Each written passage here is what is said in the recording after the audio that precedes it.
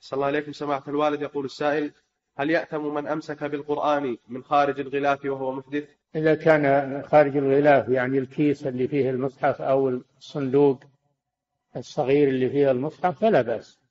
أما إذا كان المقصود الغلاف يعني جلد المصحف هذا لا يجوز. ما اتصل بالمصحف فله حكم المصحف لا يمسه إلا على طهارة.